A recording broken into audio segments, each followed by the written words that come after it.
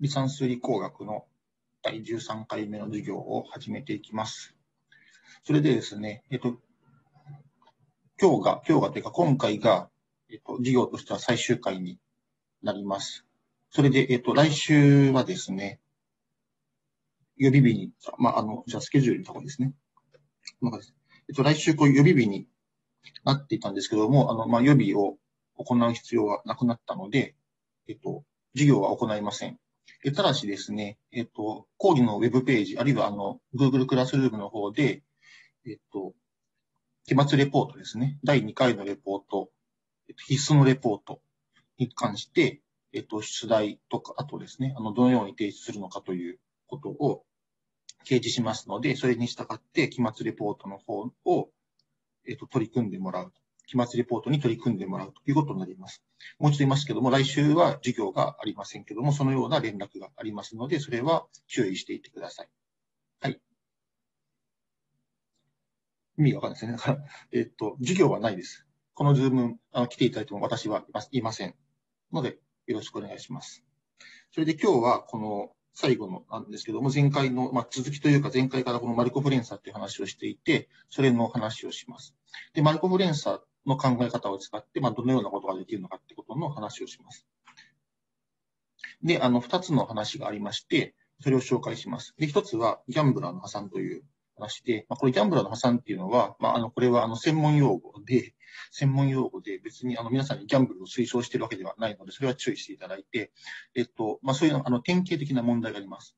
あの、この離散確率論においてはいろいろと典型的な問題があって、その初めの方でもクーポン収集問題とかって話をしたと思うんですけども、まあそういう問題ってあの典型的な問題なんですね。で、このギャンブラーの破産っていうのも、えっ、と、典型的な問題の一つです。典型的な問題の一つ。ちょっとカメラの位置。典型的な問題の一つです。で、もう一つ、まあ、典型的な問題として、このグラフ上の単純ランダムウォークというのがあります。ので、これも紹介します。で、これはですね、あの、典型的なだけじゃなくて、あの、いろんなところで本当に現れるんですけども、まあ、その中で、あの、いろんな概念があって、本当はいろんなことを紹介したいんですけども、まあ、その中でも、この到達時刻っていう話を今日はします。はい。で、一応、あの、マルコ・フレンサのちょっと復習をするんですけども、前回、あの、例として考えたのは、天気の移り変わりでした。その、時間的、時間的にですね、その、何かが、状態が変わっていくんですけども、その変わり方が確率を使ってモデル化されるような現象を扱いますということでした。で、前回考えてたのはこれですね。ある街の天気は晴れか曇りか雨である。これ割と単純化してるんですけども、まあ、こういう単純化した、えっ、と、話を、あの、例として使いました。で、天気は毎日確率的に変わると。まあ、これもすごく単純化しているんですけども、まあ、こんな形になっているとしましょう。例えば、晴れの日の翌日の天気が晴れたりかけた2分の1。だから、えっと、次の日の天気は前の日の天気のみに依存するっていうような形になっているわけですね。で、そういう時にどんなことがわかりますかということを考えていたということです。で、こういうような状況は、えっと、今、ここでは、こういうふうに、9行を使って、あの、書いてますけども、これはわかりにくいので、えっと、いろんな表現の仕方をしたりします。で、よく使う表現はこの水行列という表現で、これは、えっと、行の方が、例えば、えっと、昨日の天気を表していて、列の方が今日の天気を表しているというふうに思うとですね。例えば、この右上の6分の1っていうのは、えっと、晴れの日の次の日の天気が雨である確率は6分の1ですというようなことを表しているというふうに思ってください。ですね。うん、でこういうのを水行列とか繊維行列と呼んでます。はい。でですね、まあ、同じものを、まあ、別の表現ですることもあるんですけども、それが、えっと、状態遷移図と呼ばれているもので、これはこの丸で書いてある、これ有効グラフなんですけど、この丸の中に入っているのがこれ状態であると。で、状態の移り変わりっていうのをこの矢印で表している。で、その矢印っていうのは、その移り変わりがどれぐらいの確率で起こるのかということを考える。だから例えば、その今、雨という状態にいるとしましょう。今日の天気雨だとします。で、そうすると、その雨から、えっと、晴れに行く確率が4分の1、曇りに行く確率が2分の1、雨のままの確率が4分の1というふうになっているというふうにまあこう読むわけです。で、まあ、こういうような表現をすることもあります。でそういうのが、まあ、マルコ・フレンサで、え前回はですね、そこでその、チャップマン・コルモゴフ方程式っていう話と、えっ、と、定常分布ですね。定常分布の話をご紹介しました。まあ、そこら辺は基礎的な話なんですけども、実は今日はあのその話直接使いません。使わずにそのマルコ・フレンサっていうものの話をしていくということになります。はい。でですね、まずギャンブラーの破産っていう話をしていきます。で、えっと、こういう設定の問題です。何かというと、まあ、ギャンブラーがいますと。まあギャンブラーと、まあ、呼んじゃいますね。ギャンブラーがいます。まあ、別に誰でもいいんですけども。えっと、で、所持金 N 万ですね。N 万円。うん。まあ、N 万円にしておきます。まあ、なんか N 円でもいいんですけども、なんか、1円ずつかけるってあんましないんで、えっと、N 万円にしておきます。で、なんかこう、賭けするんですけども、まあ、この賭けが、まあ、ある種の賭けで、ギャンブルで、まあ、こういういうギャンブルです。何かというと、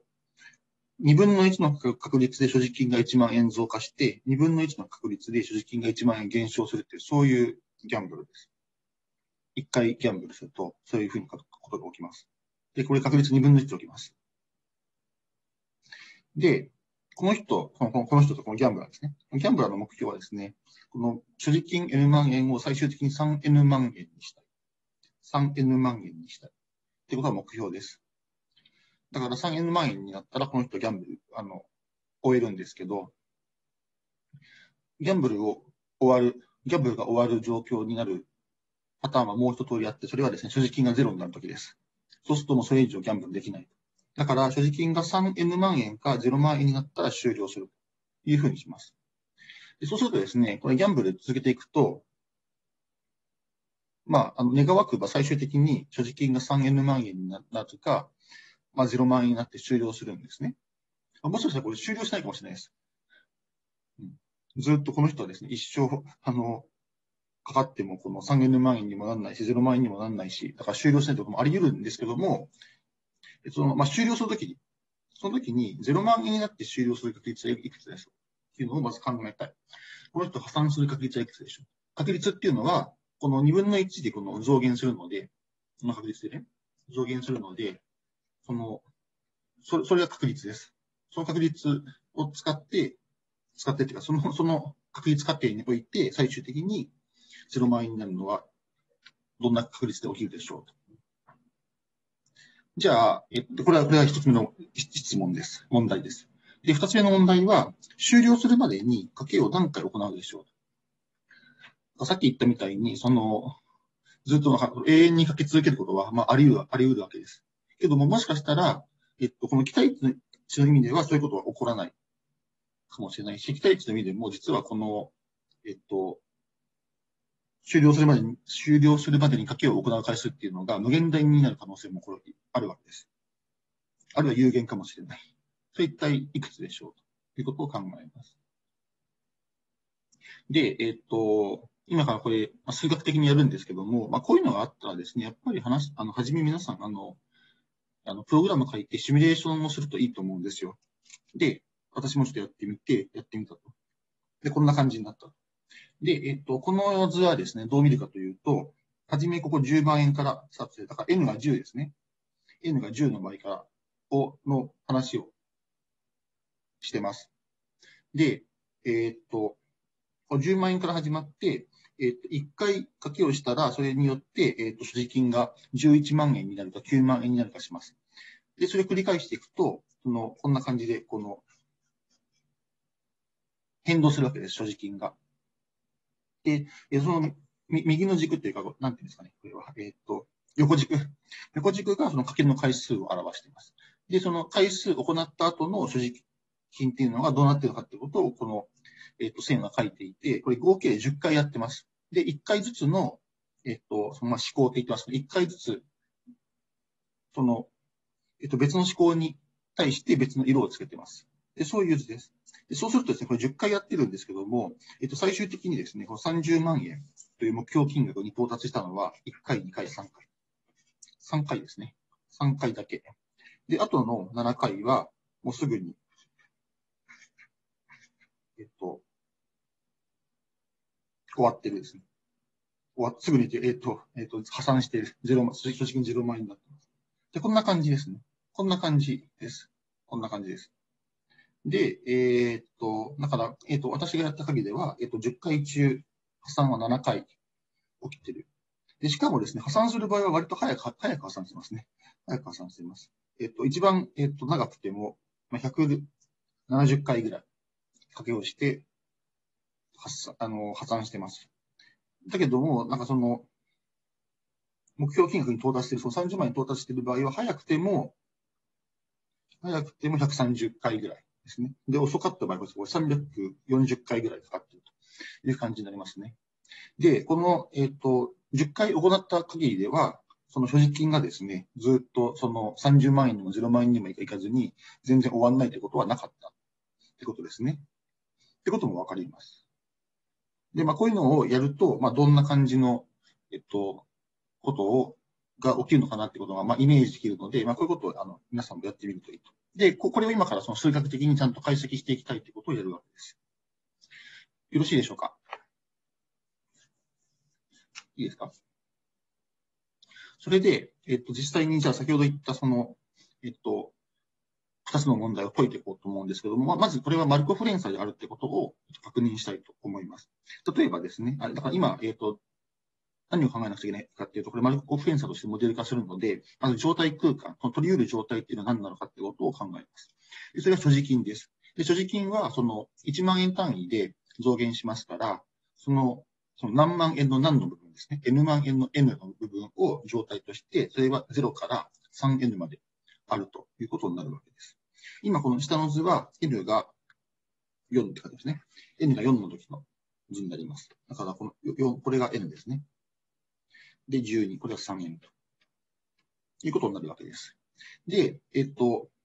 そうすると、XT と書いてある。この T 回目の書きをした後の所持金っていうのが、えっと、確率変数として、この XT がどんどん変わっていくわけです。でそうすると、何も書きをしてないとき、だから X0 の値っていうのは、N 万円今所持してますから、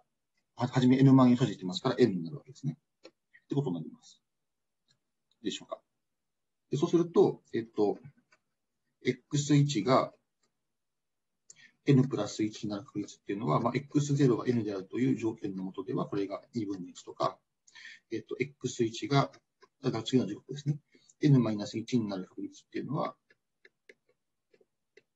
2分の1と。こういうふうな感じなわけです。で、それ、その、えっと、確率を、えっと、この状態線図にはそのまま書きましたと。この4っていうところにいるときに、状態4にいるときに5になる確率は、次5になる確率は2分の1で、次3になる確率は2分の1ということになるわけです。いいでしょうか？で、一旦、この 3n とか0に来たら、そこの10、えっと、3n とか0に居続け続けますので、12とか、3n、3n に来たら、そこからはもう次の状態は、またその 3n であり続ける。0まで来たら、また0であり続けるということが起きるように、その状態線を書いてます。かその12になったら終わるとかっていうことを表現するために、この確率1の、えっと、線位っていうのをつけていると思ってください。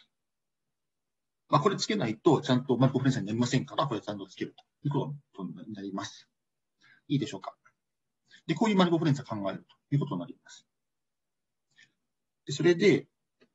えっと、先ほどの問題ですね。最終的に0万円になって終了する確率でしょう。破産する確率はいくつでしょうっていうのと、終了するまでに家計を行う回数の期待値はいくつでしょうということを考える。で、そうすると、えっと、それをまあ、表すためのちょっと今から、えっと、文字を置くんですけども、この加算する確率ですね。これを今後この Pn と書きます。Pn と書きます。で、それをちょっと今、ここでは、しっかりと確率の記法を使って書いてるんですけども、まずこれどういうふうに読むかというと、縦棒があるので、縦棒の右側これ条件です。条件です。で条件何かっていうと、x0 が n である。はじめの状態が n であるということを、まあ、書いてますね。うん、で、その時に、その条件のもとで何をの確率を考えるかっていうと、ある t に対して xt が0となる確率ですね。これを聞いてるところです。いいですか？ある時刻 t において xt が0になった、なるのは、どんな確率で起きますか？ってことを聞いているので、これが、えっと、1番に書いてあるその破産確率を表しているということをまず理解してください。いいですか？いいですか？で、2番の方はですね、終了するまでに賭けを行う回数ですね。の、まあ、期待値。ここもその、この TN と書いてますけど、これは期待値です。期待値、いいね。これ期待値ですね。期待値です。で、何の期待値かというと、えっ、ー、と、なんだ？え、まずは、えっ、ー、と、まずは条件がありまして、あの、これ条件付き期待値です。条件付き期待値で、条件はまた初めの1番の方と同じように、X0 が N である。初期状態 N であるという条件のもとで、何の期待値を考えるのかっていうと、ここに書いてある確率変数です。これが確率変数です。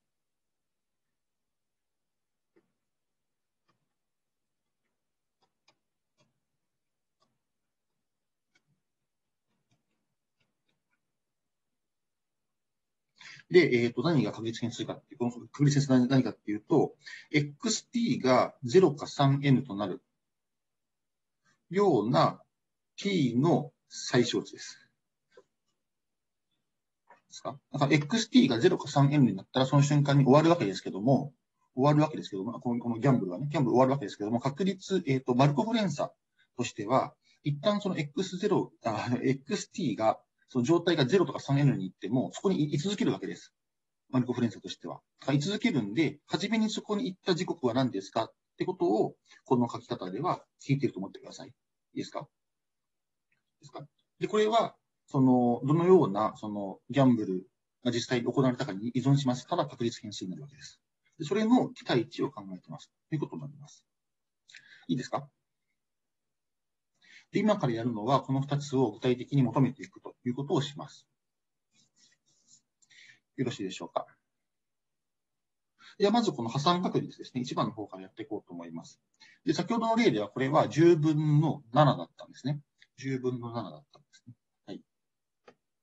で、えっ、ー、と、今、これ PN っていうのを書いたんですけども、これを、これ、この PN に対する全化式を作ります。全化式を作ります。ので、その N の部分をもう少し一般化したような話をします。っていうのが、大体この手の、えっと、問題解決における重要な手法です。例えば、その皆さんもなんかアルゴリズムを作るときにですね、再起とか、動的計画法とかっていうのをま考えるってことをやると思うんですけど、その時にも、その今持っているその問題だけじゃなくて、それよりもなんか小さな問題とかですね、そのなんか政治の取り得る範囲を変えるもん、変えた問題とかっていうのを考えると思うんですけども、ここでもそういうこと同じことをするわけですね。で、何をするかっていうと、先ほど PN っていうのを作ったんですけども、ここではこの PK っていうのを考えます。でこれ何かっていうと、所持金が今、K 万円であるとき、万円は別に使って、K 万円であるときに、最終的に所持金が0万円で終了する確率っていうのを考えて、これを PK としましょう。あこの先ほどはこの K の部分がこれ N だったわけです。N だったんだけども、K の部分が N だったんだけども、これを K に変えたからといって、あ、これ、これをこの K に変えたからといって、最終的なその達成、えっ、ー、と、目標としている金額が 3K 万円に変わるわけではないということに注意してください。いいですか？だから、このマルコフ連鎖は変わらないわけです。変わらないけども、その、スタート地点が変わるだけ。X0 が K であるという変わるだけだということに注意してください。いいですか？で、この時に、ここに書いてある全化式が得られるというのがポイントです。何でしょう。まずですね、この簡単な部分から見ていきますね。簡単な部分何かというと、P0 イコール1ですね。まあ、何かというと、えっと、0万円所持しているときに0万円で終了する確率ですね。0万円所持してるんで、もうその時点でもうすでに終わってるんですね。終わってるんです。だから、えっと、0万、あ、えっと、0万円持ってる0万円しか持ってないときには、もう0万円で終わることは決まってるわけです。ただそういうことが起きる確率は1です。いいですか？一方で、一番下ですね。P3N は0になります。つまり、この、えっと、3N ですから、そういう字が。えっと、3N 万円持ってる時に0万円で終了する確率いくでしょっていうと、3 n 万円持ってるので、もうこの時点でこの人目標を達成してるわけですね。だから、えっと、このマルコ・フレンスの言い方で言うと、この 3N っていう状態からもうこの人動けません。動けませんから、0万円になる確率は0です。いいですいいですか？で、次のもの。次のものが重要なポイントで、そうじゃない場合ですね。だから、K が1と 3N-1 の間になる場合。には、ここに書いてある式が成り立ちます。これですね。これですね。で、これなんでかっていうと、まず直感をお知らせしますね。直感をお知らせします。直感をお知らせすると、例えば、まあ、この、えっと、K が9だったとしましょう。K が9だったとしましょう。で、そうすると、えっと、その9っていう場所に、状態に今、えっと、このギャンブルがいるわけですけども、その人が最終的に0に到達するには何が起こらないといけないかっていうと、2分の1の確率で8に行ってから0に行くか、えっと、2分の1の確率で10に行ってから0に行くっていうことのどちらかしかないわけです。で、8に行ってから0に行くっていう確率は、今これ、えっと、8が k-1 ですから、えっと、えっと、8から、だから、えっと、k-1 から0に行く確率っていうのは、こういうこの p、k-1 なわけです。ですか？で、8から0に行くようになることが起こる確率、つまりこの線が起こるわけですね。これが2分の1になってるわけです。だから、えっと、8に行ってから0に行くことになる確率は、2分の1かける pk-1 になるわけです。で、一方で同じように、10の方に行ってから、k たす1の状態に行ってから、0に行くことになる確率は、まず10に遷移する確率が2分の1です。この2分の1です。で、10から0に行く確率が pk たす1になるわけです。で、その2つは倍分けですから、足し算をしてます。という形になってます。いいでしょうか？で、今言ったのは、えっと、実は、これはあの直感でしかないんですけども、これはちゃんとあの数学的に式変形を行うことで導くこともできます。で、それをちょっと、えっと、紹介します。次のページで。いきなり全部出ましたね。いきなり全部出ましたね。えっと、これちゃんと見ていきましょうということになりますね。えっと、じゃあ見ていきますね。で、今この K は1から 3n-1 までの範囲に入っているとして、一番上に書いてあるのはこれ PK の定義です。で、PK の定義ですけども、えっと、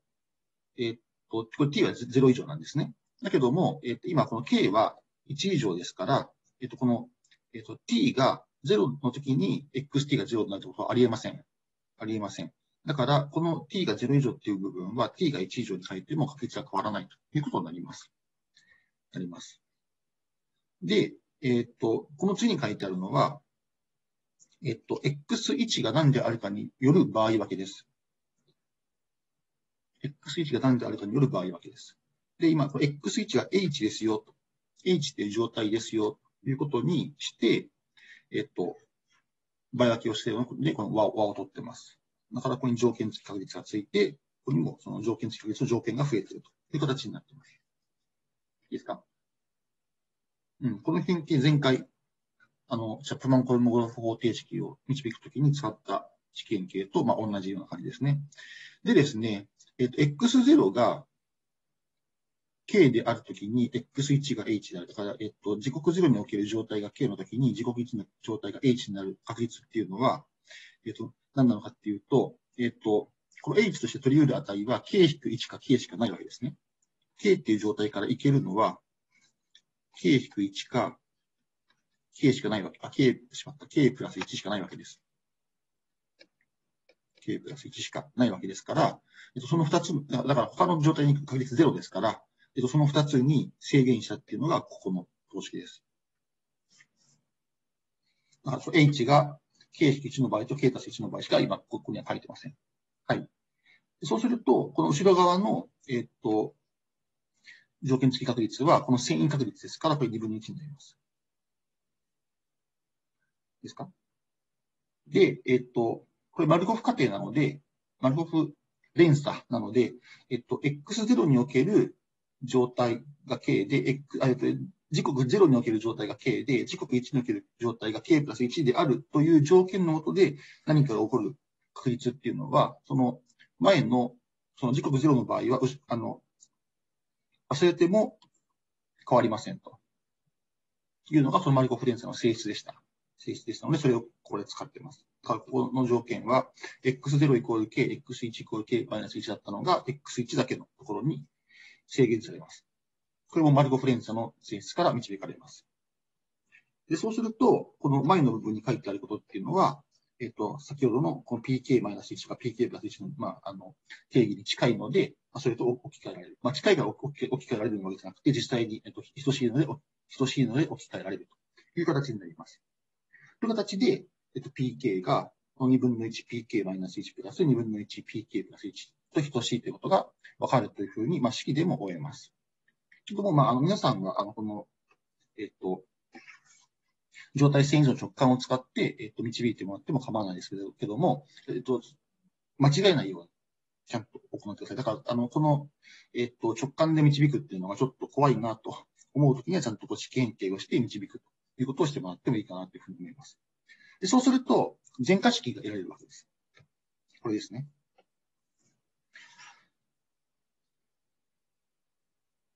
いいでしょうか？で、これがですね、ちょっと困るんですね。困るっていうのは、なんか今までの全化式っていうのは、例えば、なんか A1 が1で、AN がプラス1にしよう。AN プラス1が、例えばなんか 2AN マイナス1かな。なんかこんな感じに、N が1にしよう。なんかこんな感じの全化式だったんですよ。これ何かっていうと、A1 っていう、えっと、値が決まっていて、それが A1 が決まることから、A2 が決まって、A3 が決まって、A4 が決まってっていうふうになっている。まあ、こういう仕組みの全化式を今までよく扱ってきたわけです。しかしですね、ここに書かれている全化式ってのはそういう仕組みになってないんですね。なんでかっていうと、なんでかっていうと、今ですね、例えば、まあ、まあ、P0 が1で、あ P1 が何だかとこう、まあ、決まってるとしますね。ちょっと今わかんないけど、決まってるとします。じゃあ、その時に、この2番目の式から P2 を定めようとします。あ、これはできるんだ。えっ、と、それ、えっ、と、これを、じゃなくて、えっ、と、すみません。えっ、と、じゃなくて、これで、こう、P1 を定めようとします。P1 を定めようとします。で、そのためにこの2番目の式を使おうと思うんだけども、これをどう使っていいかよくわかんないんですね。例えば、この K を1だとして、えっと、P1 イコールってこう書こうとすると、これは P0 プラス、あ、2分の 1P0 プラス2分の 1P2 になるんです。で、今 P0 は1だって分かってるから、前の部分は2分の1なんですけど、後ろの部分の P2 がなんだか分かんないんですよ。つまり、この P1 を計算しようとするときに、その先の値である P2 を使おうとしてるんですね。うん。この式っていうのは。まあ、だからいけないんだっていうふうに思うかもしれない。だから、だからいけないと思うので、えっと、この式をちょっと書き換えて、えっと、pk プラス1イコールっていう座式にしてみましょうと。でそうすると、これは 2pk マイナス pk-1 になります。じゃ、これを使って p1 を定めようと思ったらどうなるかっていうと、えっと、k を0にするわけですね。k を0とすると p1 イコールっていう式になります。で、これそのままじゃあ、この k を0にして、えっ、と、そのままこれ式作ると、2p0 マイナス p マイナス1になります。だけども、この p マイナス1って我々知らないし、そもそも、この、この式において、k を0とすることは許されてないわけです。この k の範囲がこう決まってますから。そうすると、これどう頑張っても p1 っていうのが定まんないような気がするんですね。p1 って何？だから、えっ、ー、と、実はこの全化式っていうのは、その P0 が決まっていて、そこから P1 が決まって、P2 が決まって、P3 が決まってっていう仕組みになってないんです。で、どういう仕組みになってるかっていうと、P1 よくわかんないんだけども、これ最終的に P3N が0であるっていう条件があるから、そこまで行った時に初めて戻って P1 が決まりますっていう、そういう仕組みになってるわけです。で、こういうのは、微分方程式でもよくあるんですね。よくあるとかって言って、微分方程式のアナロジー、えっと、類推で言うと、この右の方に書いてあるのは、これは初期値問題なんですよ。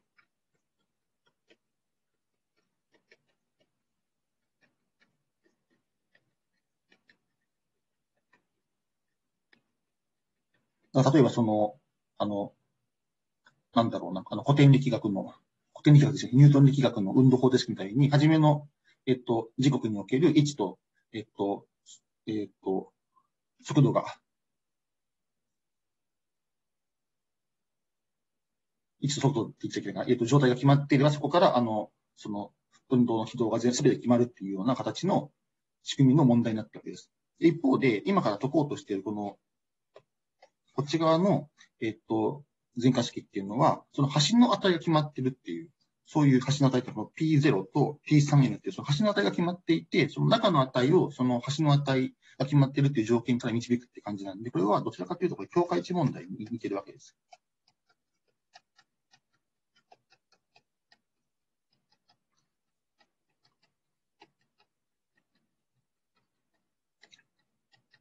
だから、その、今まで解いてきたような、この初期値問題と違う形をしているような、まず全化式であるということは注意をしてください。で注意をする、したので、えっと、じゃあ今からやるのは、この境界値問題っぽいような全化式どのように解くのかって話をします。じゃあこれはですね、えっと、あれですね、休憩を2分して、その後にちょっとやっていこうと思うんですけども、そうですね、それをやるのが次の話になりますので、じゃあまず2分休憩をします。休憩の休憩の。はい。じゃあ2分休憩して、その解く話をしていきます。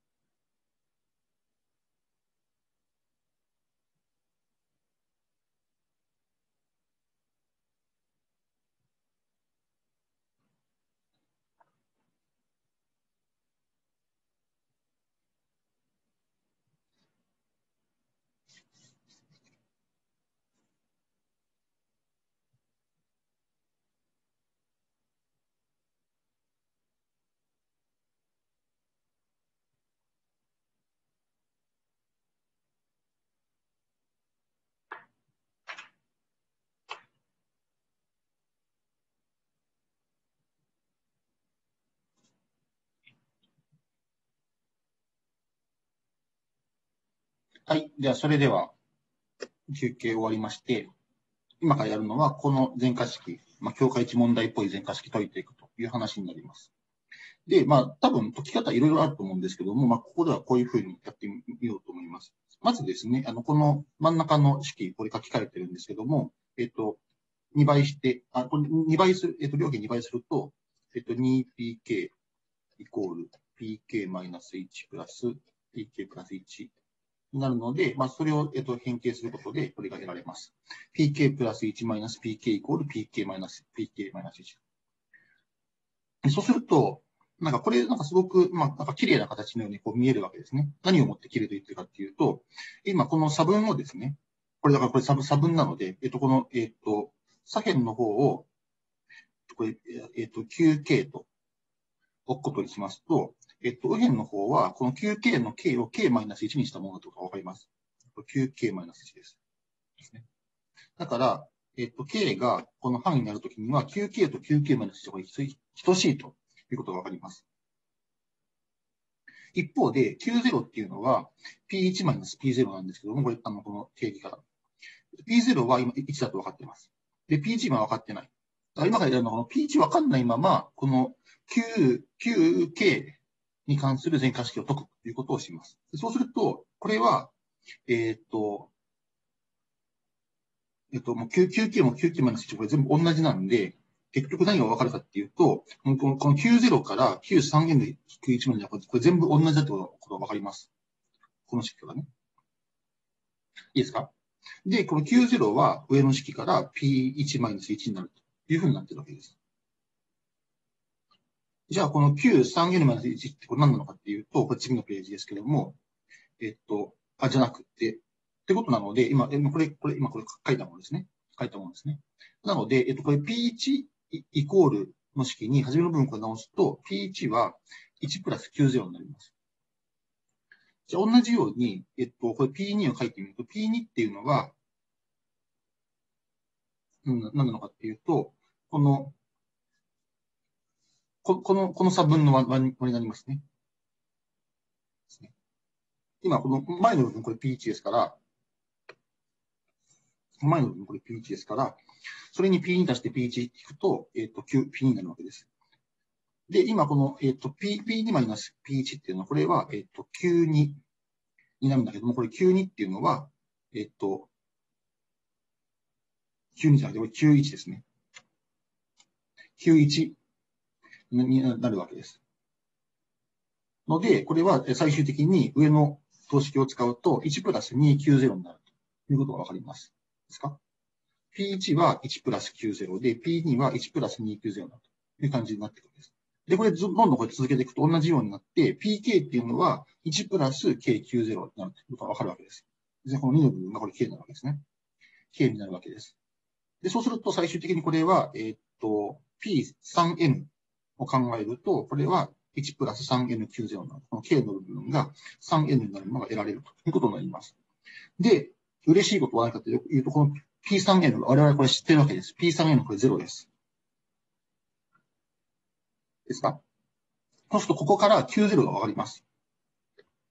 90はマイナス 3N 分の1ですね。そうすると、90っていうのは P1 マイナス1でしたから、これは P1 わかります。つまり、えっ、と、書くと、えっ、と、P1 はわかりますし、わかりますし、その P1 もわかりますし、えっと、PK もわかります。今これ90がマイナス 3n 分でしたって分かったんだから、えっと、PK っていうのは1マイナス 3n 分の K だと分かります。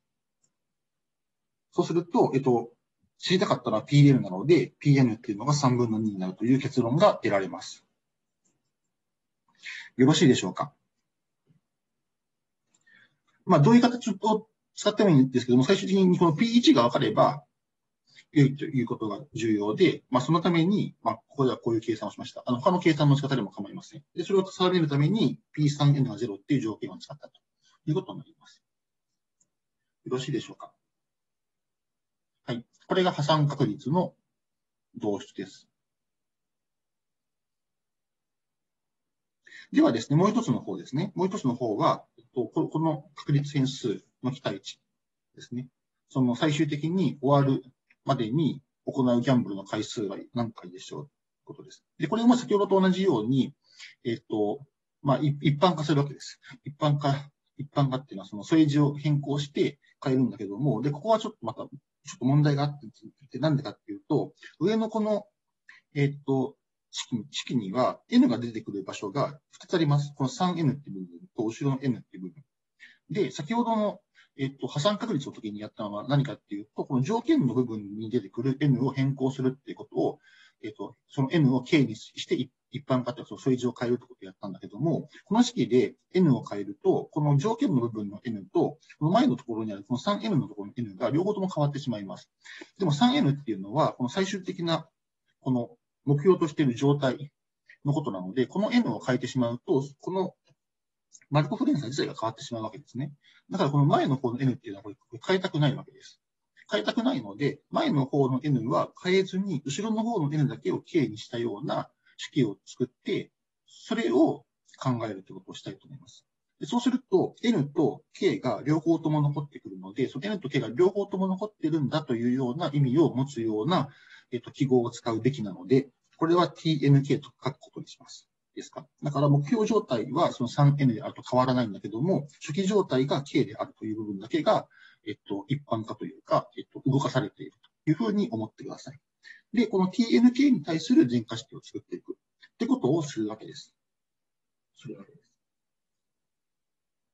そうすると、じゃあこれで何？で、えっと、N は固定します。N はだから、この固定っていうのはもう、初めから与えられているとします。で、その与えられている文字 N に対して、この K に関する全化式を作るということをします。はい。で、まず観察したいのは、えっと、K が0の時とか、K が 3N の時には、えっと、終わるまでに行うギャンブルの回数っていうのの期待値は0になります。それなんでかっていうと、もうすでに終わってるからですね。あこれ以上ギャンブルする必要はないわけです。必要がなので、ギャンブルすることはないわけです。ないので、0になります。ですか？だからこれもまた先ほどと同じような、なんかその境界値問題っぽい、えっと、全化式が最終的に得られるのかなっていう気が、してくるということになります。はい。それで、えっと、じゃあ、その、えっと、全化式の核となる、この k が1以上 3n-1 以下の時はどうなるかっていうと、こんな感じになります。で、これも直感的にはこうなるってことがわかるってことをまず説明します。何かっていうと、この状態遷移図見るわけですね。で、で例えば、まあ、今この7っていう状態でいるとしましょう。だから、えっと、k が7の時考えましょう。そうすると、えっと、0か12にたどり着くまでに何回遷移をしますかっていうと、今、まずその0か12にいませんから、1回は遷移します。1回は。1回は必ず遷移します。だから1があります、1回は遷移します。で、1回遷移すると何が起こるかっていうと、この7という状態にいるギャンブラーは、6という状態に遷移するか、8という状態に遷移するわけです。で、もし6という状態に遷移したら、6から0、あるいは12に行くまでに行うギャンブルの回数っていうのは、t, n, k-1 になります。ですか？で、そのような状態に至る確率は2分の1です。これ遷移確率ですね。ですか？一方で、その、もともと7っていう状態にいたギャンブラーが8っていう状態に行ってしまったら、8から0または12に行くために行うギャンブルの回数の期待値っていうのは tnk プラス1なわけです。で、そのような状態に至る確率っていうのは遷移確率である2分の1です。という形で、この全化式、関係式が得られるということになります。よろしいですか？今これ直感的にはと言ってるということは、えっと、これが正しくないかもしれないし、正しいかもしれないんですけども、実はこれ正しいです。で、えっと、次のページにまたちゃんとした、えっと、式の計算があるんですけども、えっと、それは先ほどの遷移確率じゃなくて、えっと、破産確率を、の全化式を、えっと、作った時のような考え方と同じなんですけども、ここでは、えっと、先ほどは確率だったんだけども、ここは、えっ、と、条件付き期待値なので、確率の計算と期待値の計算はいろんなところで本あの本質的に異なっている部分があったりしますので、それを注意しながら、えっ、と、この、えっ、と、導出を実際に見ていただくと、まあ、正しいんだということがわかります。で、えっと、また、あの、また、えっとですね、あれですね。気にしなくちゃいけないのは、えっと、期待値には線形性っていう重要な性質があります。で、それも使っています。使っているはずです。使っているはずですので、えっと、そ、そこら辺を注意しながら、皆さん、あの、各自で、この、えっと、導出が正しいってことを確認していただければいいかと思います。まあ、これは、あるいは、あの、この、えっと、演習問題で言うと、言うと、えっと、えっと、復習問題になっている部分でもあるので、まあ、あの、それ、それとして取り組んでいただくという形でもいいかもしれませんが、えっと、私が今ここで言いたかったのは何かというと、先ほどの直感的な説明は正しいと。あえっと、正しい結論を導く。ってことを、まずお伝えしたかったということです。つまり、全化式は導かれました。こうですね。こういう全化式で導かれたということになります。で、これは先ほどの、その、まあ、その境界値問題のような、あの、雰囲気を持っている、えっと、全化式なので、先ほどと同じような、えっと、方法を使えば解けますし、まあ、皆さんが、えっと、自分で方法を見あの、なんだ、考えていただいても構わないことになります。先ほどと同じように、この TNK の、この、あの、K を動かしている、これ全化式なんですけども、その K が0のところは、0だって決まってるんだけども、K が1の場合がわかんないので、それをまず定めてもらって、それを使って解くという感じのことをしてもらえば良いということになります。で、細かいあの計算は、この後スライドに書いてあるので、皆さん見ていただければわかると思うというちょっと期待をして、ここでは、ま細かく説明しないことにしようと思います。えっと、この、えっと、前化式、先ほどの場合に比べて、ちょっと、あの、この関係式の見た目がややこしいので、先ほどよりもちょっとその計算は大変なんですけども、まあ、丁寧にやってもらえればできると思いますし、まあ、丁寧にこの後のスライドを見ていただければわかると思います。まあ、一応見ていく、見ていくと、見ていくと、先ほどのように、なんかその差分を作ってますね。ここでこの、またこの差分が差分マイナス2になるっていうふうな形で、まあ、書けるので、この差分を今度はこの UK と置いて、それに関する全化式を作っていく。で、そうすると、先ほどは、えっと、9K イコール 9K マイナス1っていうような、そのずっとイコールで続いていくような全化式だったんだけども、今度はこのマイナスにはつくわけです。だから、まあ、それだけは違います。タイプは、あの、等差数列ですね。等差数列、ここ。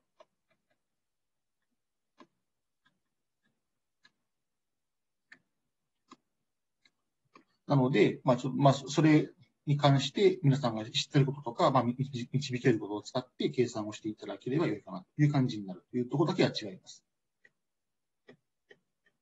で、そうすると、まあ、こんな感じになると。今、早すぎたかなちょっと。早すぎたんです。まあ、ここはもう少し見ることにして。まあ、こんな感じで、先ほどと同じように、この K を順番に動かしていくと、きに何が起こるかということはわかり、わかります。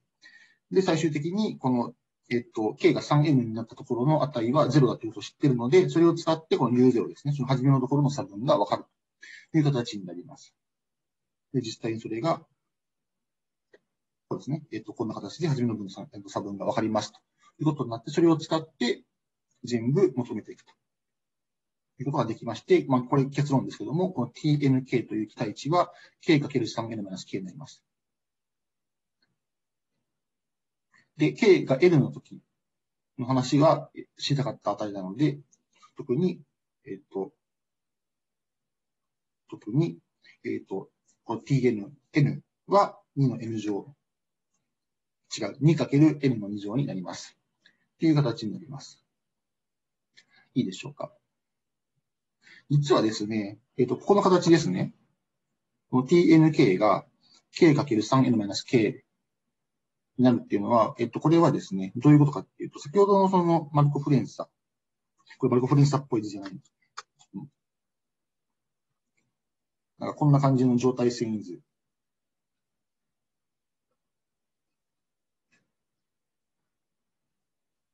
これは何なこれはない。えっと、だからこんなのを書いてたんですけども、すいません。えっと、こうか。で、こうなって、こうなって、こうですね。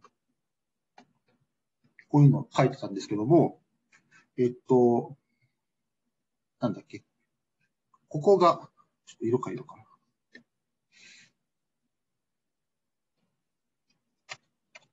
えっと、状態で言うと、あの、左端が0で、えっと、右端がこれ 3n になっていて、えっと、スタートするところの、えっと、状態がこれ k だっていうふうに言ってたんですね。で、そうすると、これは、この K×3 のマイナス K っていうのは、まあ、ちょっと、まあ、イメージで言うと、えっと、この、えっと、TNK に対する、この K の木を、えっと、ここ、ここ、ここの部分がなんか K で、こっちの方が 3m-K。ちょっとこれイメージ図なんで、実際のこの数と違いますけども。K、K から見て0は K だけ離れていて、3n は 3m-K だけ離れている。まあ、ちょっとこれ、あの、プラス、プラスマイナス1、ちょっと違いますけども、あの、直感的にそうだと思ってください。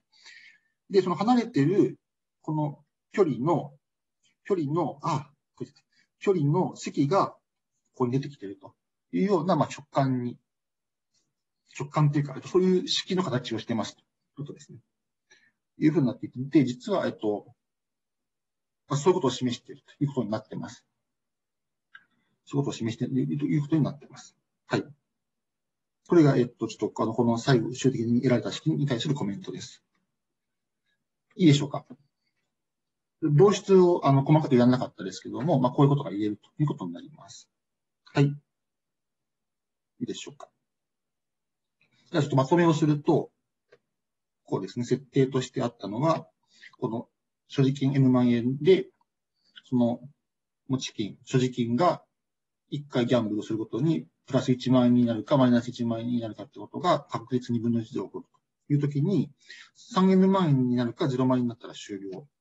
という状況で、最終的に加算する確率っていうのは3分の2になりまして、終了までに行う掛けの回数の期待値っていうのが 2n の2乗になるということが導かれました。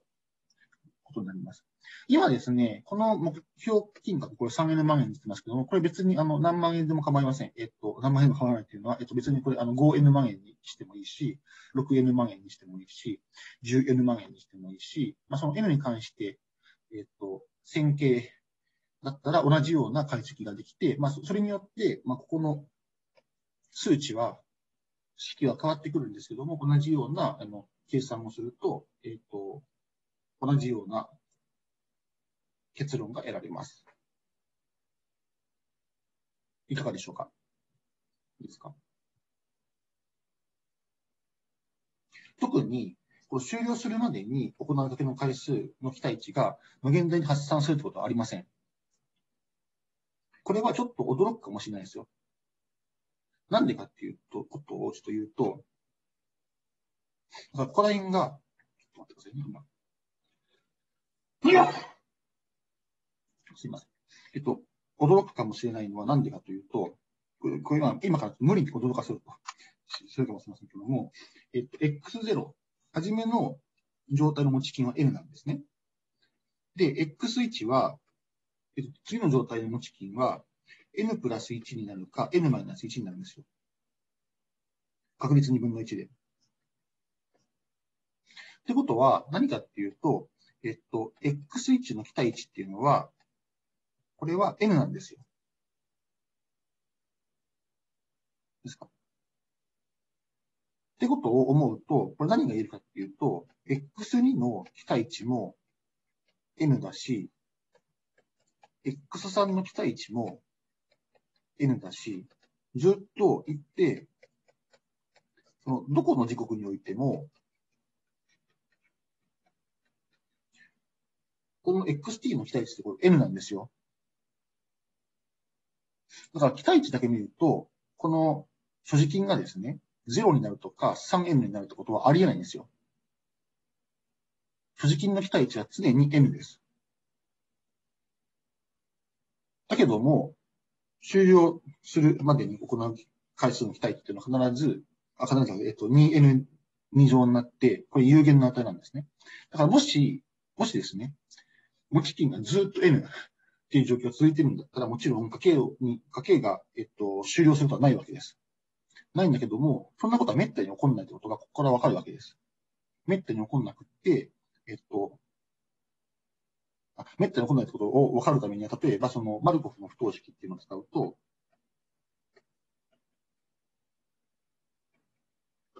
を使うと、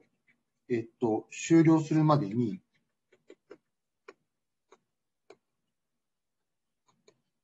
えっと、賭けを行う回数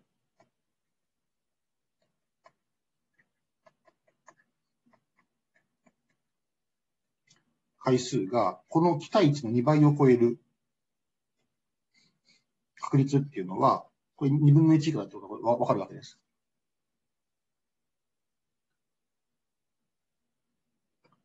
あこういうの、あの、離散確率論、この後半の話の初めの方で何回かやったんですけども、まあ、こういうことは言えるわけですね。で、まあ、この4の部分を大きくすれば、この2分の1の部分小さくなってるわけですね。ってことなんで、で、えっと、しかも、あの、これはその、えっと、また、あの、離散確率論、この後半の話を、初めの方でやった時に、あの、説明したチェルノフ上階の技法とかを使うと、本当にこの確率が小さくなるんだってことは、もっと、あの、細かく証明ができます。ので、ただ、えっと、これ、マルコ・フレンスの話なんで、あの、その時に使ったチェルノフ上階の技法をそのまま使えるわけではないんですけども、まあ、その同じような話を使うことで、この確率が本当はもっと小さいんだってことが言えたりします。で、言えたりするので、えっと、何が言いたいか、言いたかっていうか、言いたかったかっていうと、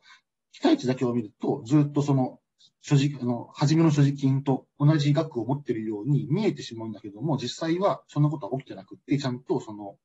端っこの0か 3N に、えっと、有限界のギャンブルで行ってしまうんだよってことが、まあ、こういうところから、だから、こういうところからわかるわけです。つまりです、ね、その期待値が与える、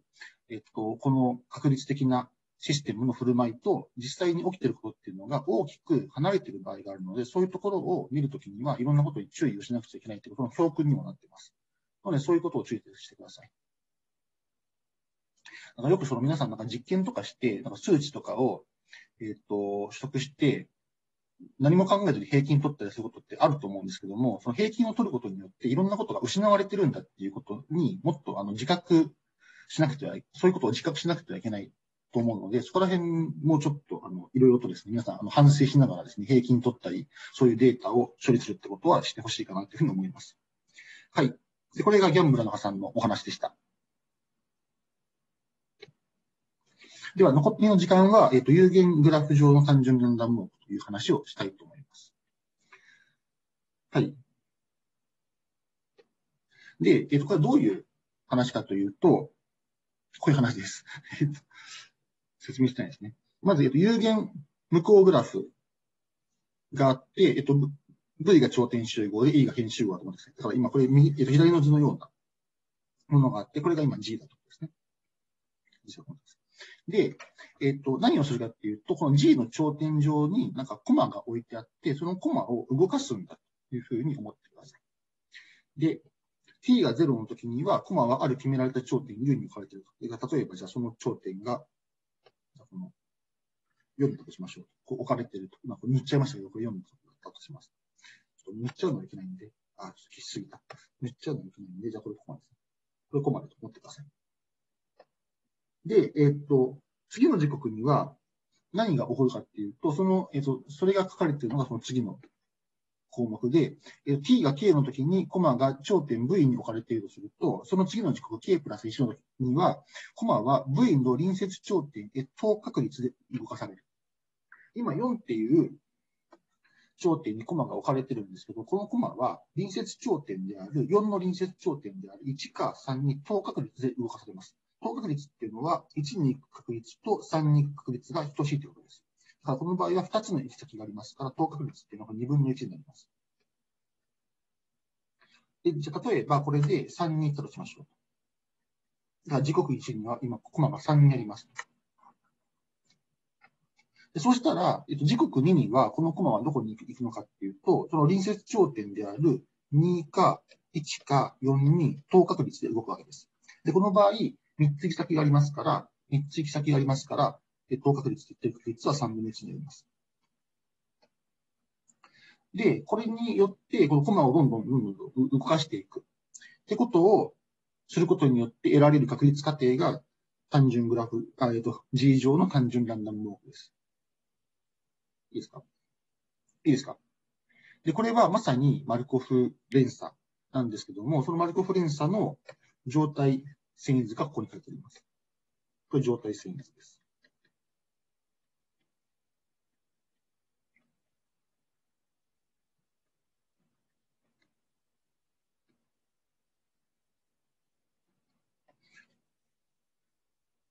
で、状態っていうのは、そのコマがあるえっと、頂点がどこなのかってことを表しているということで、この頂点が書いちゃった。頂点そのものが、えっと、状態になっています。で、ここに書いてある、その、えっと、動かすために使われる確率がそのまんま、この状態遷移の確率になっているという形ですね。いいでしょうか。で、有限グラフ上の単純ランダムウォークっていうのは、いろんな応用でよく使われます。例えばですね、皆さん、あの、グラフ探索っていうのをグラフ探索。まあ、いろんな授業で扱っていると思うんですけども、まあ、例えばアルゴリズムの第一、あるいは第二のようなところで、えっ、ー、と、深さ優先探索とか幅優先探索っていうような言葉を聞いたことがあるかもしれませんけども、えっ、ー、と、それは、えっ、ー、と、非常に重要なアルゴリズムでよく使われてるんですけども、一つ問題があるんですね。いや、いくつか問題があって、いくついくつか問題があるんですけど、その一つは一つは何かっていうと、えっと、この探索を行うためには、このグラフが全部手元にないといけないんですよ。あるいは、まあ、手元になくても、そのグラフを、と同じぐらいのメモリーを、あグラフの大きさと同じぐらいのメモリーを必要とします。そのまま実行しようとすると。そのまま実行しようとすると。で、もしですね、このグラフがですね、非常に巨大だったら、その巨大なグラフをですね、メモリーに蓄えることができなくなっちゃうんですよね。そうすると、この先ほど言ったその幅優先探索とか深さ優先探索っていうのはこれできなくなっちゃいます。そうすると困るんですね。いろんなそのアプリケーションとかですね、いろんなアルゴリズムっていうのはそういうそのグラフ探索の手法に基づいて、そういうのをサブルーティンとしてこう使ってるので、そういうのが動かなくなっちゃって、もうその時点でもう困っちゃうわけです。で、困っちゃうときに、まあ、その代わりの手段っていうのをちょっと考えなくちゃいけないなってことになるわけですね。でその時に、この単純ランダムウォークっていうのは、その代わりとなる一つの手法です。で、何かというと、例えば、その、ある、グラフにおいてですね、グラフにおいて、ある頂点から別の頂点に、えっ、ー、と、到達できるか、ことを判定しようとかっていう時によくグラフ探索が使われるんだけども、そのグラフ探索ができないと分かったら、その代わりに、その頂点から別の頂点まで行けるかどうかってことを、ここへ書いてあるようなランダムウォークで試してみます。で、それは何かっていうと、そのスタートする頂点にこのコマを置いて、ずっとそのコマをこのランダムウォークに従って動かすわけです。バルコフレンスに従って動かすわけです。で、えっと、まあ、たくさんのえっと、遷移を繰り返して、最終的に、そこの、あの、目標としている、えっと、頂点に到達できたら、到達できたということが分かりますし、到達できなかったら、本当に到達できないかどうかは分かんないけども、それがその確率的に何かしらの、えっと、正しいか正しくないかっていう答えが分かるというような感じになるわけです。でそうすると何がいいかっていうと、この単純ランダムウォークっていうのは、今どこの、えっと、頂点にコマが置かれてるのかっていう状態えっ、と、状況と、まあ、その周り、そのどこに線にするのかっていうことが、という情報だけで、このアルゴリズムが動かせる、アルゴリズムこの単純、単純ランダムウォークを実行できるんですね。そうすると、グラフ全体の情報必要ないんですよ。グラフ全体の情報必要ないですし、手元のメモリに蓄えておく情報も、今いる頂点、今の状態とその周りの状況だけになるので、使うべきメモリの量が大幅に減ります。という意味で、そう先ほどその深さ優先探索とか幅優先探索が持っていた問題点を解決できる可能性があります。一方で、一方で、えっと、深さ優先探索とか幅優先探索というのは、そのある頂点から別の頂点に到達できるかどうかということを必ず正しく判断してくれます。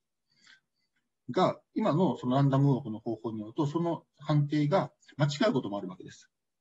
だからそういうデメリットはあります。単純ランダムウォークによって到達可能性を判定するという手法においては。だけども、それは一長一短なわけですね。グラフ探索には必ず判定できるっていうメリットがあるけども、たくさんメモリーを使うっていうデメリットがある。えっと、ランダムウォークを使った手法では、メモリーをよくあんまり使わなくても良いというメリットがあるけども、必ずしも正しく判断できるというわけではないというデメリットがあるということになるわけです。で、その、そのまメリット、デメリットをいろいろと考えて、アルゴリズムは選択していくということになるわけです。いずれにせよ、今からやりたいのは、このランダムウォークにおいてどういうことが確実的に実際に、えっと、数学として、えっと、解析できるとかっていう話をしていこうと思います。よろしいでしょうか？で、えっと、そのために、えっと、まあ、いろんな概念があるんですけども、えっと、ここでは到達時刻というものを、えっ、と、解析していこうと思います。でそれはこれですね。今、えっと、2つの頂点になります。U と V です。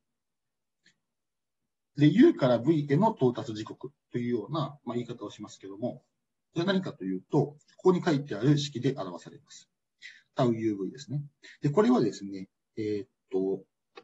確率変数です。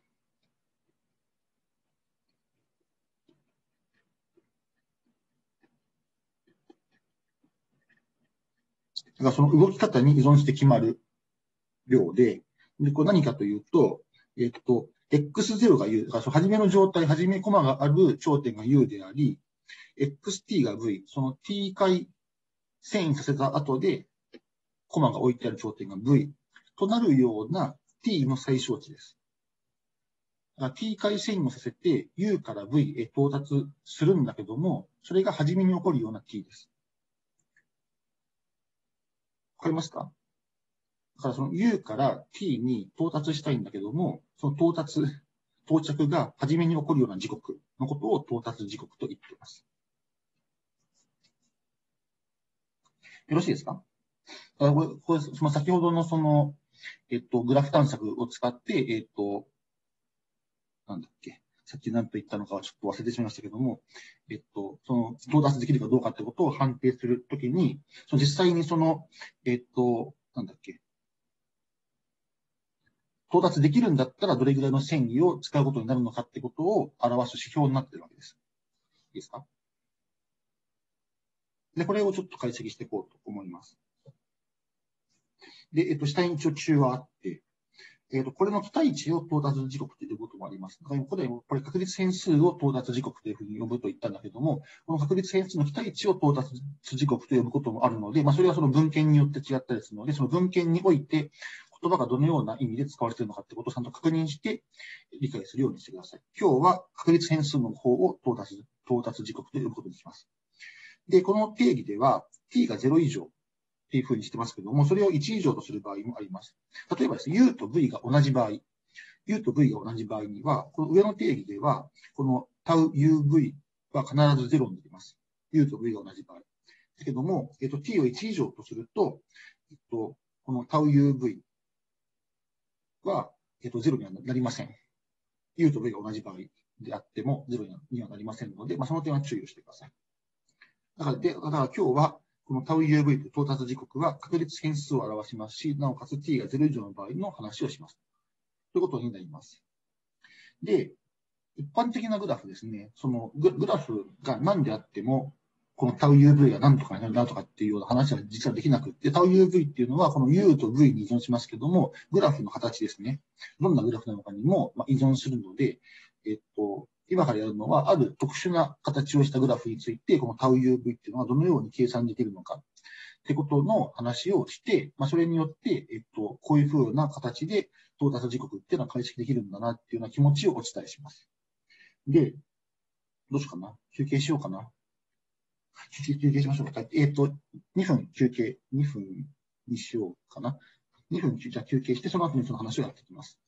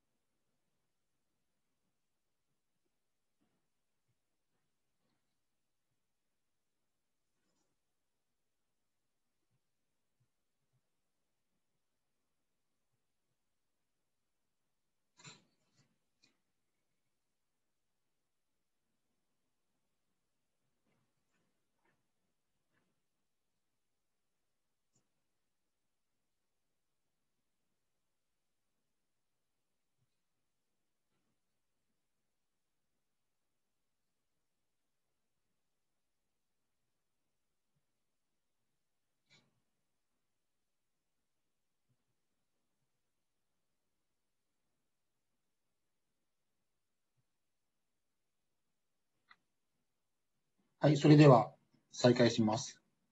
で、今からやっていくのは、その、ある特定の形をしたグラフに対して、到達時刻っていうのをどのように計算できるのかって話をします。到達時刻の期待値ですね。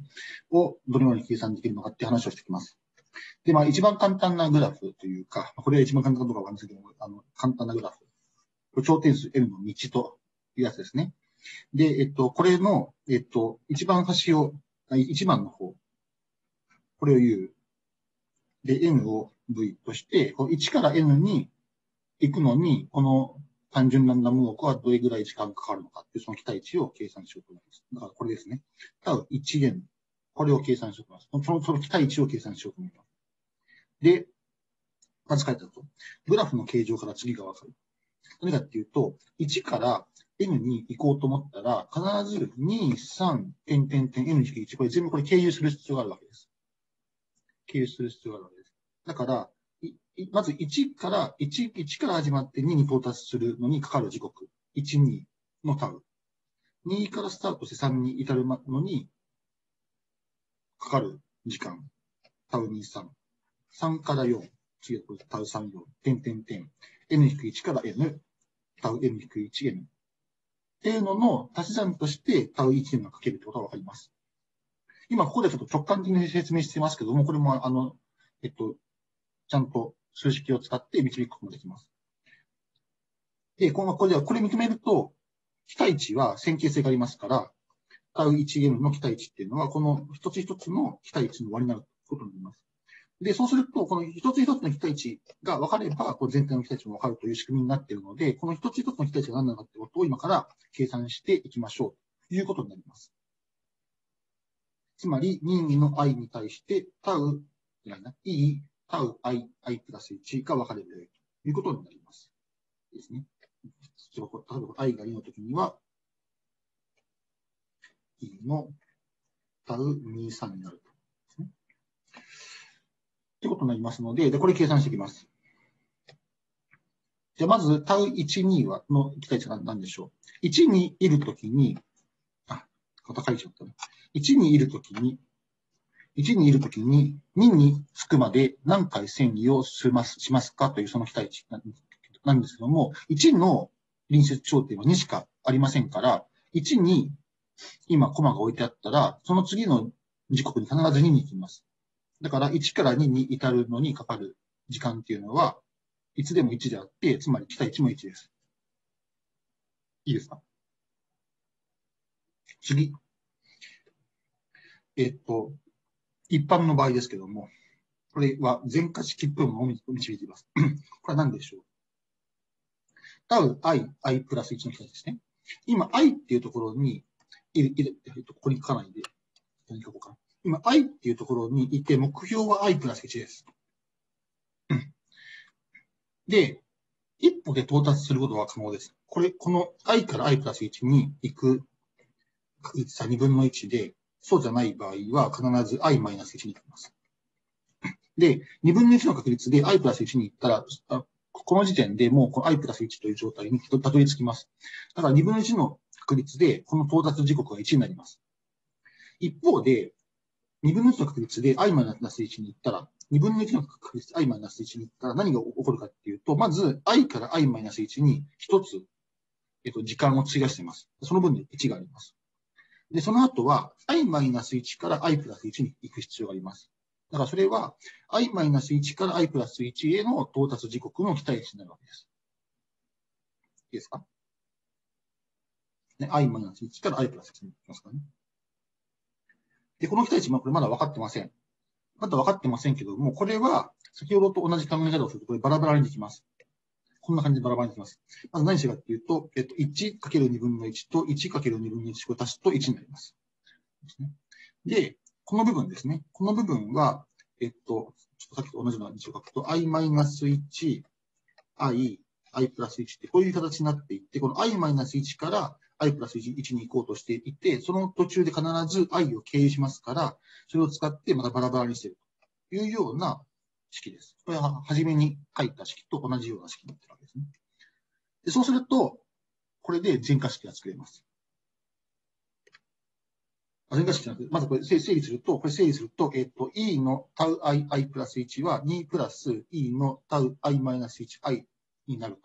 いう形になって、これで全化式が作れるわけです。どういうことかっていうと、今 AI を E タウ II プラス1で置くと、こうなると。上の式っていうのは、えっと、E タウ12が1であるってことに対応してて、下の式が、あの、下の、先ほどの前のページの下の方で導いた式に対応するということですね。そうすると、これは、まあ、ただ単に等差数列なので、一般項を求められます。こうなります。AI は 2i-1 になるということがわかるわけです。で、そうすると、つまり、えっと、この τi、i プラス1の期待値は 2i マイナス1であるということがわかるので、これを使って1から n への到達時刻っていうのが計算ができたということになります。到達時刻の期待値が計算できたということになります。なんでかというと、先ほど言った通り、その期待値というのは、この期待値の和で表されていて、一つ一つの期待値が 2i マイナス1であるということが分かったというわけです。だから 2i マイナス1の和を取ってあげると、n-1 の2乗なるということは、これはあの皆さん計算できると思いますので、これやってもらうということになります。いいですか？で、こんな形で、まあ、この道の場合、端から端まで。あまあ、これ実は端から端までじゃなくて、これ途中の場合も、まあ、この上の式から求められるんですけども、まあ、特に端の端から、端から端の場合には、n-1 の2乗という到達時刻が得られましたということになります。ここまでよろしいでしょうか？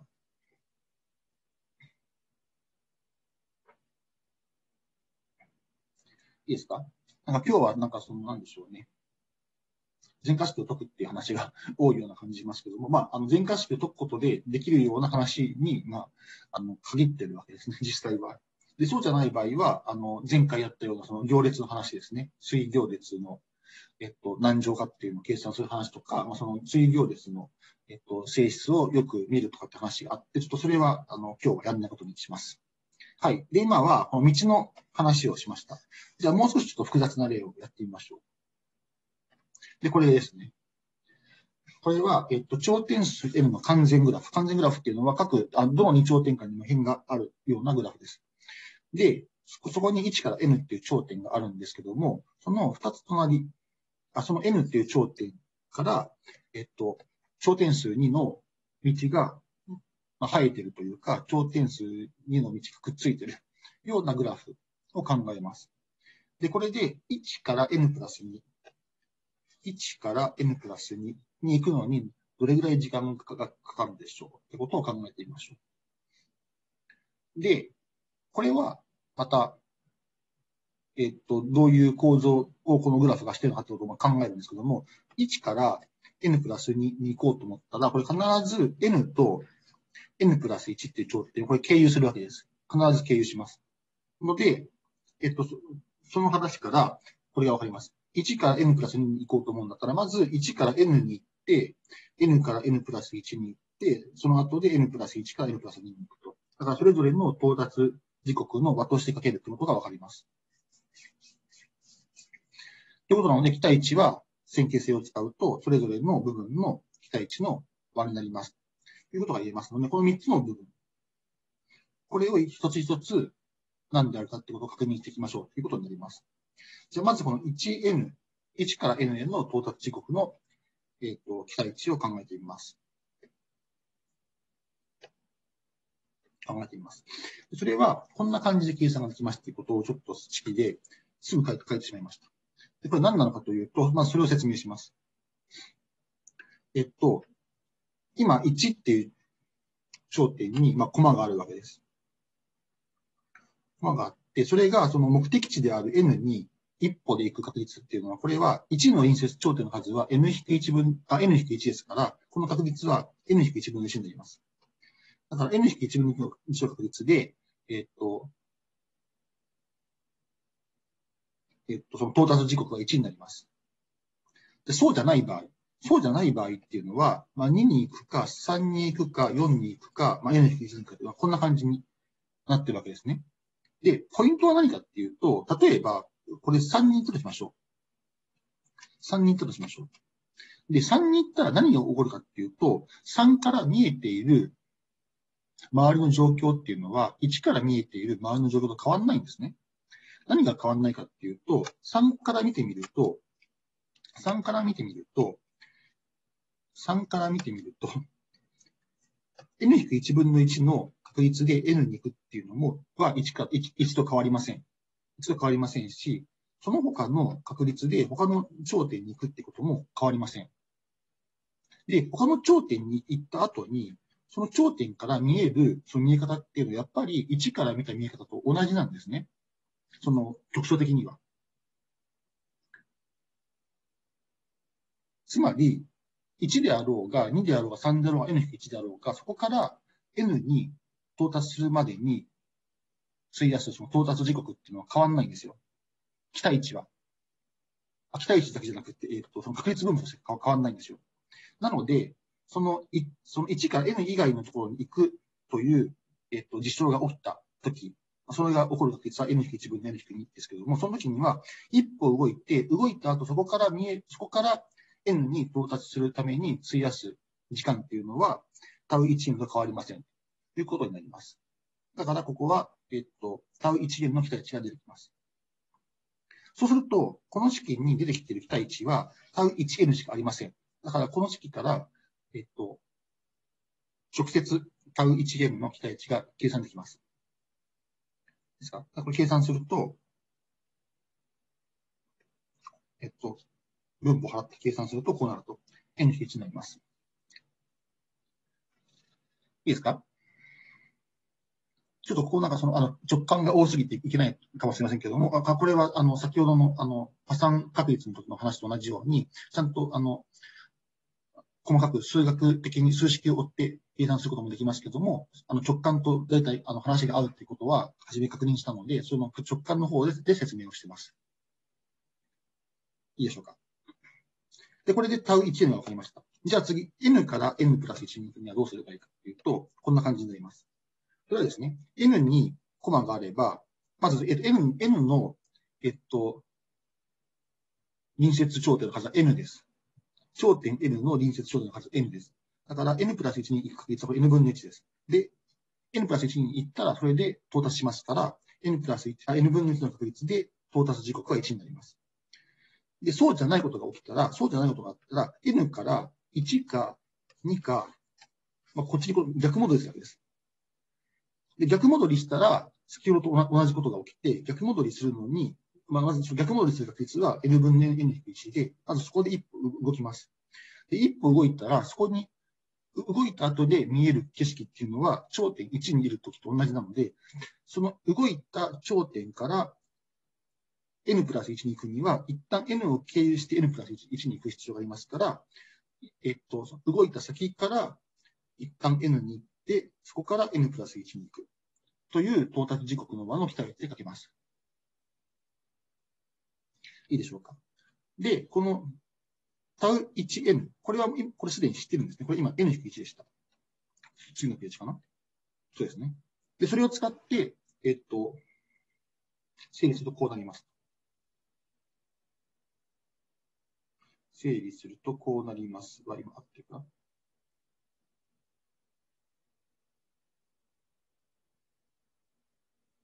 あまあ、これ整理しないですね。今これ、えっと、n かけただけで、で、で、で今ここに書いたのが、えっと、タウ 1n の期待値が n の期待値ということを使いました。で、そうすると、えっと、タウ nn プラス1の期待値が、そういった式で得られるということになります。だから、まあ、ここは計算するだけですね。計算するだけです。で、これでその n から n プラス1に到達するのにどんだけ時間がかかるかがわかりました。じゃあ、あとは n プラス1から n プラス2です。同じようにやります。同じようにやって、こっちは割とわかりやすくって、えっと、n プラス1にいたら、2分の1の確率で n プラス2に行って終了します。はい、ここですね。一方で、えっと、2分の1の確率で n に行っちゃうかもしれません。